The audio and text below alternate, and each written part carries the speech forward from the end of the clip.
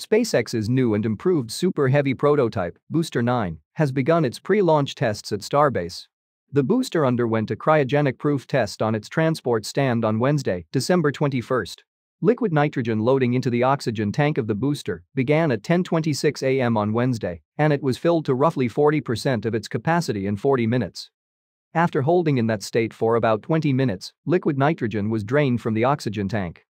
After almost completely detanking the oxygen tank, liquid nitrogen filling into the methane tank began, and it took SpaceX an hour to fill the methane tank to roughly 80% of its maximum capacity. After keeping the tank filled for about 25 minutes, SpaceX began draining the tank, concluding the first cryo-proof test of Booster 9. The test provides engineers with the data they need to determine whether the rocket can endure internal stresses and whether the structure has any leaks. During the oxygen tank proof test, a considerable amount of venting was observed from the orbital launch mount, indicating the launch pad was also tested on that day. SpaceX might have tested the reliability of the pad's plumbing after the recent repairs and upgrades. Road closures suggest rocket testing at Starbase will resume on Thursday, December 29. Starship 24 conducted its third static fire test on December 15, and in my previous update, I forgot to mention something significant that happened during the test. Although the single-engine static fire test on December 15 appeared to go off without a hitch, many thermal protection tiles did fall from the aft end of the ship during engine firing. Ship 24's aft end had a number of tiles removed by SpaceX last month to reinforce the stainless steel structure of the spacecraft. The fact that the tiles fell from where the repairs were made indicates that there was something wrong with the tile replacement after the repairs. In this video shared on Twitter by Felix Schlang, you can see the state of the tiles following the static fire test. It appears that numerous tiles sustained damage at various locations during the test. Teams have already started replacing the damaged thermal tiles on the ship with new ones, and some work is currently going on under the ship, hidden from the public eye. Maybe SpaceX is fixing some issues with the ship's Raptor engines. A new batch of second-generation Raptor engines was delivered to Starbase lately. The engines have an electric thrust vector control system, unlike the hydraulic system used by previous Raptor engines. The electric thrust vector control system features simpler hardware and will make it much easier to control the engine while in flight. According to Elon Musk, the system would save over a ton of hydraulic mass on the booster. The electric thrust vector control actuator on the engines resembles the actuator that moves the joints in Tesla AI bots Tesla has already showcased the strength of its actuator technology by having a single-leg actuator of the robot lift an entire piano. It appears that SpaceX is modifying existing Tesla technology and integrating it into the Starship.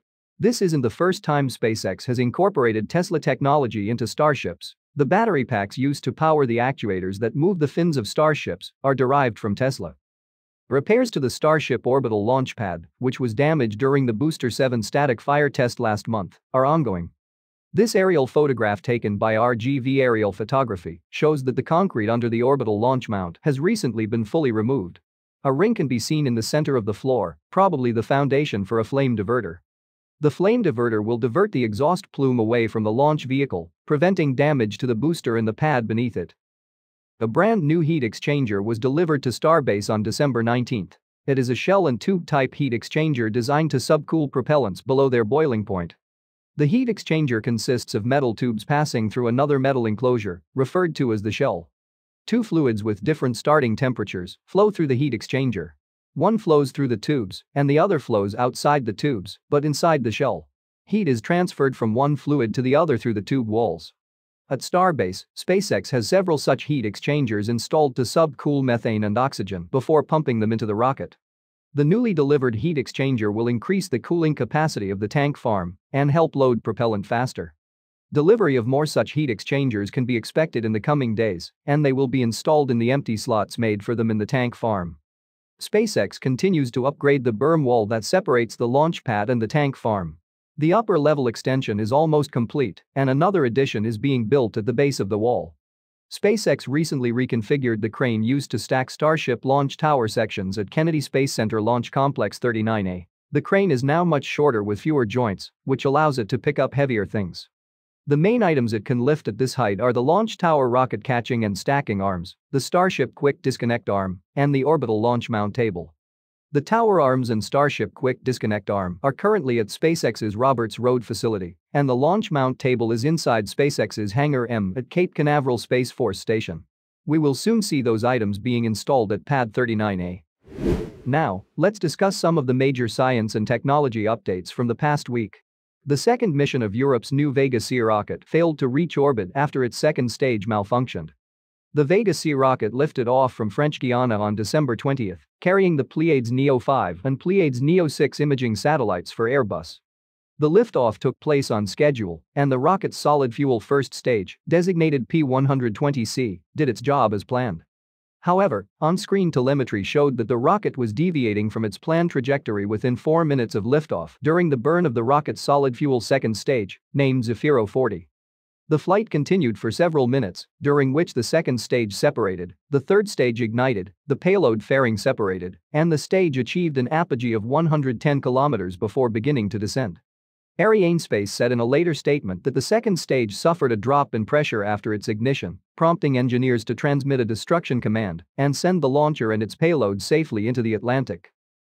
Uh, and under pressure has been observed on the Zefiro 40, which is the second stage of the Vega. And after this under pressure, we have observed a deviation of the trajectory and a very strong anomaly. So uh, unfortunately, uh, we can say that the mission is uh, lost.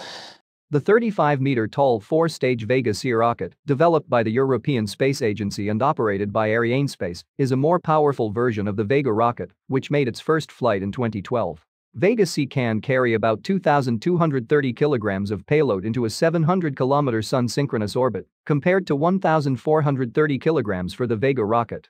Tuesday's mission was the first commercial launch of the Vega C and its second overall mission. In July, during its first mission, Vega C successfully lofted the Italian Space Agency's LARES 2 satellite, designed for the study of the Earth's gravitational field, as well as six right-along CubeSats into orbit. The two satellites lost on Tuesday's mission were headed to a 700 km sun-synchronous orbit, where they would have completed Airbus's Pleiades Neo-Earth imaging constellation. Arianespace and ESA have appointed an independent inquiry commission to determine the reasons for the failure.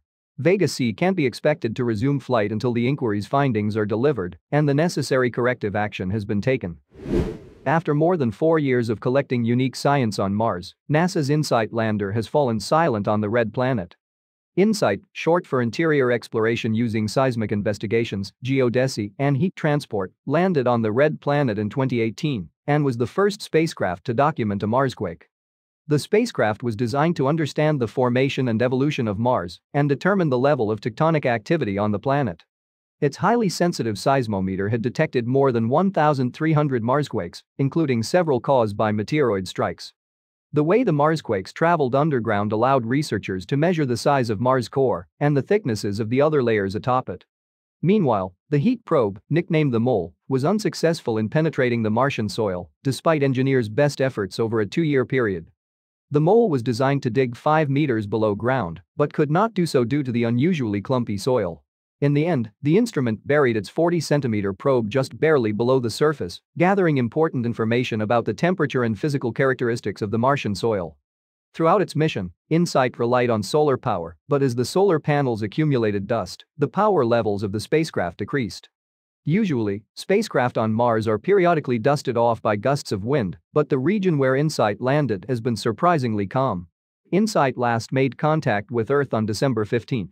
After two consecutive failed attempts to contact a lander, NASA declared on December 21 that the lander was retired. Despite only being intended to last 709 sols on the red planet, InSight managed to survive 1,440 Martian days. NASA will continue to listen for a signal from the lander, just in case, but hearing from it at this point is considered unlikely. South Korea's Danuri probe, also known as the Korea Pathfinder Lunar Orbiter, has reached its destination after a four-month voyage. Danuri, meaning Enjoy the Moon, launched on 4 August atop a SpaceX Falcon 9 rocket, is Korea's first exploratory space mission outside of Earth's orbit. The successful launch put Danuri into a ballistic lunar transfer orbit, which took the probe on a 134-day-long fuel-efficient voyage through space.